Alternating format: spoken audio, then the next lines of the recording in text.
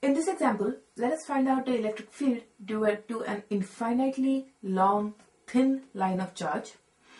This is an insulator.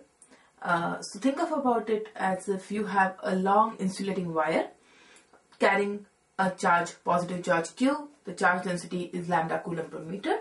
And you want to find out what is the electric field due to this long, thin insulating wire at a distance r or at point P, which is at a distance r from the wire. So one thing you should notice is that though we are showing uh, the wire having some significant radius here, it is essentially the radius is very small when compared to the length of the wire. So you can ignore the radius of the wire or the thickness of the wire. Now, this is a symmetrical charge distribution. Uh, the symmetry is cylindrical because the wire essentially is like a cylinder. And so uh, let us see, let us try to take a Gaussian surface which is also cylindrical and passing through point P. So this is my Gaussian surface.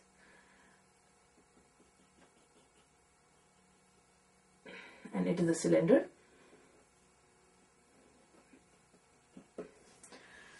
The radius of the cylinder is the distance r and this is the radius of this is my top surface of the cylinder. This is the bottom surface of the cylinder.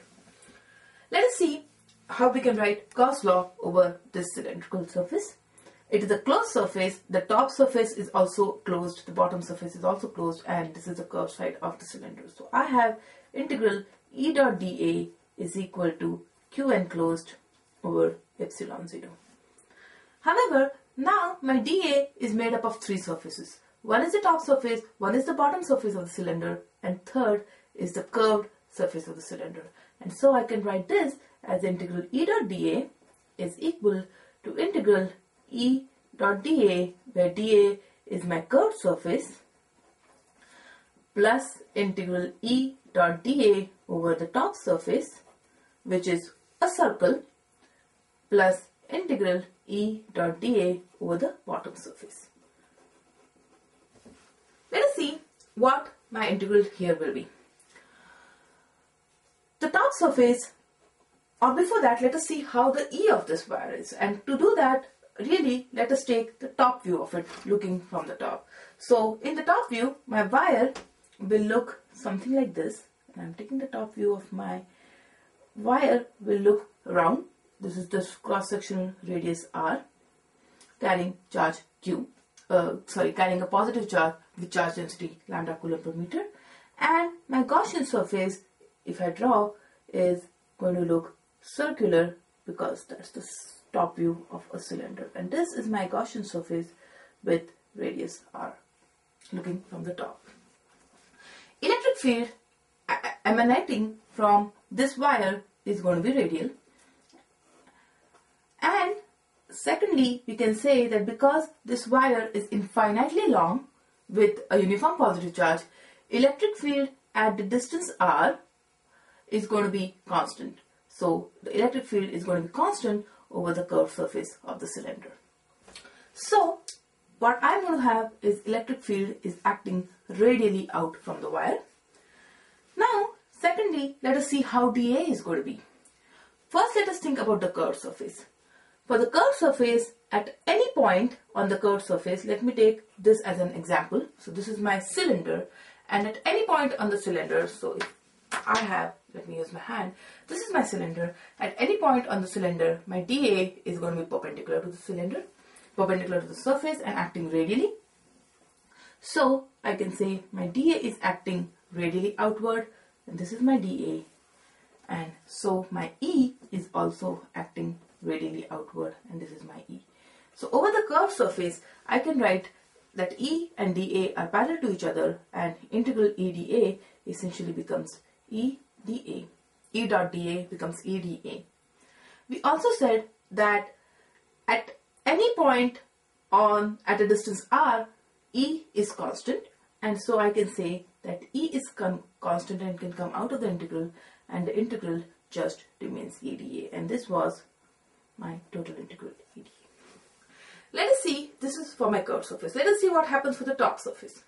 For the top surface, my dA, this is a closed surface, so my dA is in this direction. However, E due to my thin wire yet remains in a radial direction. So E is yet in a radial direction.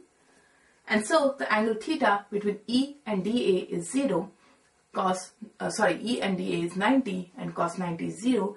Hence the flux to the top surface is 0. Similarly, for the bottom surface, this is my bottom surface and my dA is going to be acting vertically downwards is the down circle, the bottom circle of my cylinder. But my E yet remains radial and again my theta is 90 and so the flux to the bottom surface is also zero.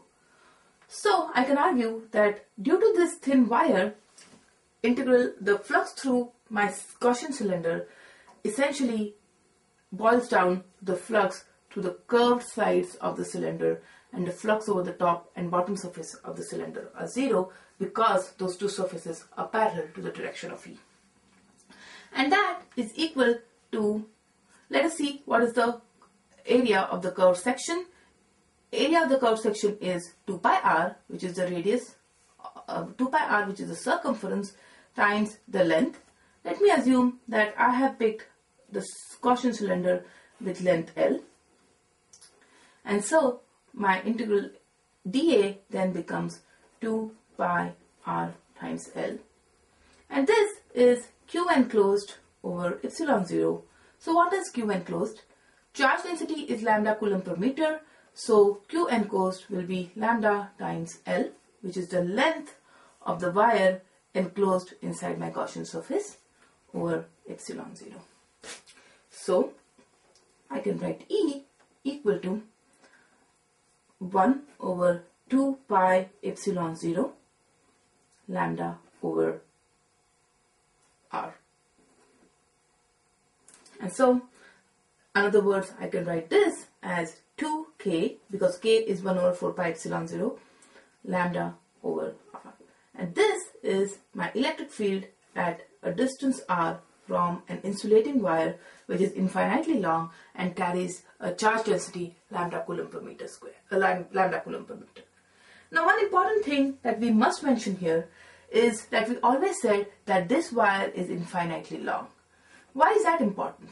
Because if my wire was not infinitely long, say if I have a wire which is something like this, then my E is not going to be uniformly radial. It is not going to be only in this direction. The way my E is going to be is it's going to be something like that. And so at every point I cannot argue that I cannot argue that E is parallel to the top and bottom surfaces or that E is parallel to dA over the curved surface since the direction of E is continuously changing. So there cannot, since this E is not uniform, it is very difficult to find a Gaussian surface over which we can use our rules which say that we are going to find E which is constant because E is not constant certainly and we cannot again say that E has some uniform direction. It is either parallel to dA or it is perpendicular to dA at every point on the Gaussian surface. And for this kind of examples, we cannot use Gauss law very easily because we cannot reduce this integral to something simple. However, what we can say is that if I have a sufficiently long wire, not necessarily an infinitely long wire, then we can use Gauss law over the center of the wire, which is quite far away from the ends of the wire. And that is a fair enough approximation that if I have a finite wire of considerable length, and if I am considering a small section in the wire which is quite away from the ends of the wire, then I can use this as a fair enough approximation of the electric field at a distance r from the wire.